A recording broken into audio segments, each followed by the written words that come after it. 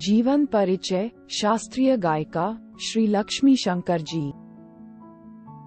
श्रीमती लक्ष्मी शंकर जी सितार वादक पंडित रविशंकर जी की भाभी थी। जिन्होंने पहले भरतनाट्यम और कथकिल नृत्यों में दक्षता प्राप्त की, किंतु बाद में सफल गायिका हुई।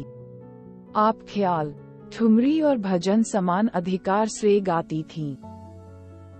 केवल इतना ही नहीं, कई भारतीय भाषाओं के गीत बड़े ही स्वाभाविक ढंग से गाती थी, हिंदी, बंगाली, मराठी, गुजराती, पंजाबी, तमिल, मलयालम, कन्नड़ और तेलुगु में से जिस भाषा में गीत गाती थी, मालूम पड़ता था कि अपनी मातृभाषा में गा रही हैं।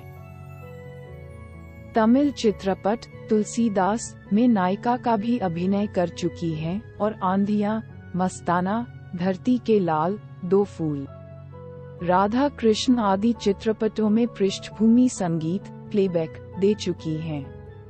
पाँच वर्ष की अवस्था से मद्रास के भी श्री कदम्पा पिल्ले जी से भरतनाट्यम नृत्य की शिक्षा लेने लगी उस समय समाज का वातावरण संगीत के अनुकूल नहीं था भले घर की लड़कियाँ संगीत से दूर रहा करती थीं।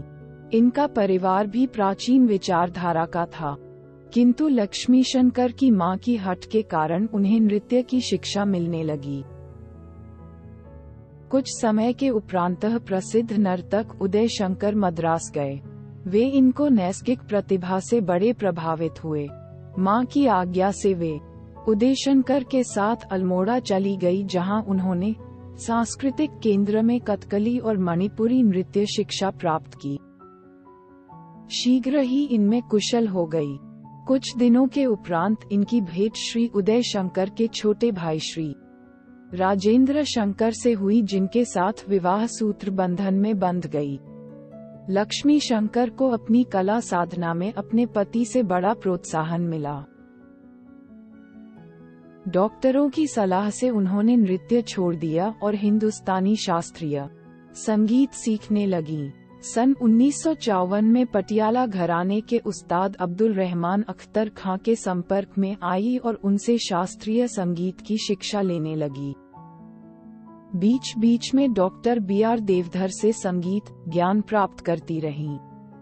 सन उन्नीस सौ सत्तावन से आकाशवाणी के विभिन्न केंद्रों से अपना कार्यक्रम प्रसारित करने लगी आपके कई रिकॉर्ड भजन गीत व ठुमरी के बन चुके हैं जो आकाशवाणी से यदा कदा प्रसारित होते रहते हैं। श्रीमती लक्ष्मी शंकर का जन्म सन 1926 में जमशेदपुर के एक प्रतिष्ठित मद्रासी परिवार में हुआ। श्रीमती लक्ष्मी शंकर बहुत सरल, स्वभाव की महिला थी, जिन्हें तड़क भड़क पसंद नहीं थी। घर गृहस्थी का काम बड़ी सुव्यवस्थित ढंग से चलाती थी। संगीत साधना में रत रहते हुए भी पति और बच्चों की देखरेख स्वयं करती थी। आपके गायन में बड़ा आकर्षण था।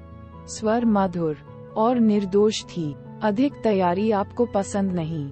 राग ताल में संतुलित रखते हुए भाव पर बहुत बल देती थी। ठुमरी और भजन में मानो मधुर स्वरों की फुहार उड़ने लगती हो। उदय शंकर की नृत्य पार्टी के साथ नर्तकी के रूप में तथा बाद में गायिका के रूप में कई बार विदेश का भ्रमण कर चुकी हैं। प्रत्येक बार हिंदुस्तानी संगीत का सफल कार्यक्रम देकर भारत का मस्तक ऊँचा किया